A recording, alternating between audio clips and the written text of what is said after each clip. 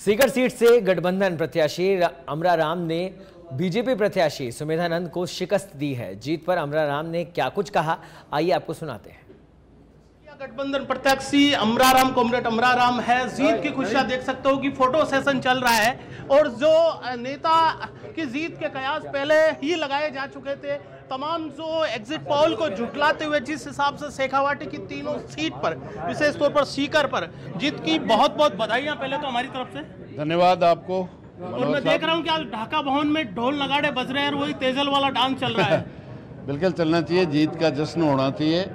जीत उस कुशासन के खिलाफ हुई है, जो 10 साल में जो वायदे किए थे, एक भी वायदा करने के बजाय जनता के खिलाफ काम, किसान हो, मजदूर हो, नौजवान, व्यापारी, आम जनता के खिलाफ किया है और बड़ी बड़ी कंपनियों को माला माल किया है।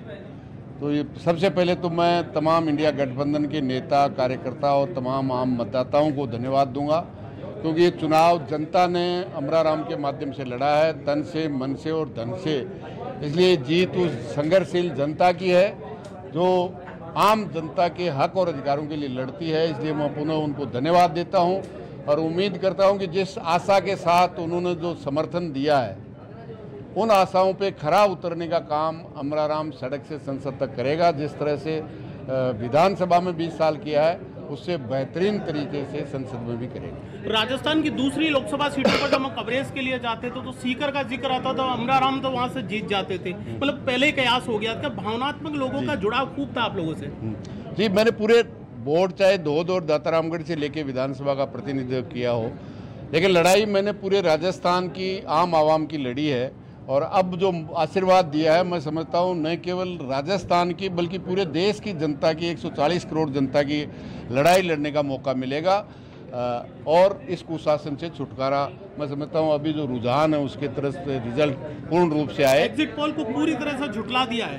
एग्जिट पोल तो वही गोदी मीडिया और अम्बानी अडानी का खेल था जिसमें शेयर मार्केट के माध्यम से एक दर्जन लाख करोड़ रुपए का मुनाफा जिसमें 80 प्रतिशत उन्हीं दो व्यक्तियों के लिए है उसी के लिए और भारतीय जनता पार्टी माहौल लोगों का मोरल डाउन करने के लिए। लेकिन जनता का वोट तो ईवीएम के अंदर था वो के तमाम वोटर जो आपको चाहते थे राजस्थान के तमाम वोटर जो आपको पसंद करते हैं उनके लिए।